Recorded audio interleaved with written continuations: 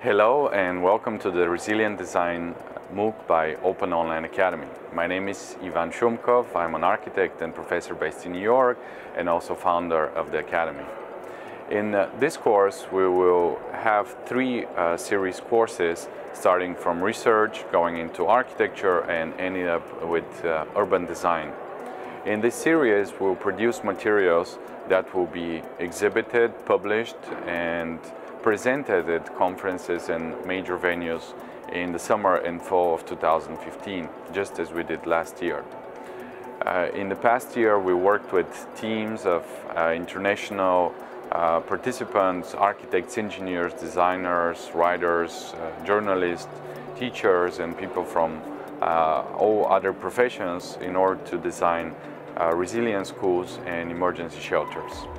Now we will start with this first course which is about uh, architecture and researching housing typologies in areas that have been affected by natural disasters as for example uh, typhoons, earthquakes, tsunamis, uh, floods and uh, any other natural disaster that uh, have been uh, happening in the past years. We will separate the research in five parts.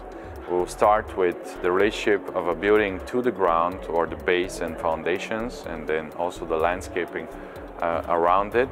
Then we'll move on to researching the structure of the building, uh, structures that can resist, for example, uh, typhoons and also uh, earthquakes particularly. Then we'll look at the roof of a building and see how the roof protects the building from the elements. We'll then look at the enclosure of the building and last but not least, we will study the energy system of a building. For example, how, does, how can we use uh, natural resources as solar light uh, in order to uh, light up the buildings or how can we have more natural light in the buildings in case that there is not uh, electrical power in there. In the course, you'll be joined with uh, international teams. You'll be able to meet people from all over the world and work with them during uh, six months, six weeks. In uh, these six weeks, every week we'll have an assignment and at the end of the week we will uh, select the best projects, post them online and we'll collect the best works and put them together into a publication.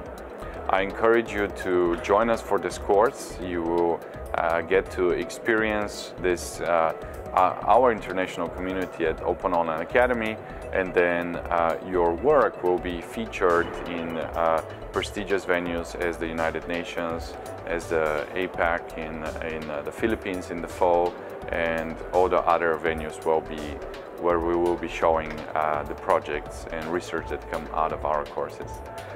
I look forward to working with you and our team of experts and professors from Open Online Academy and I will see you soon online and maybe even in person in New York.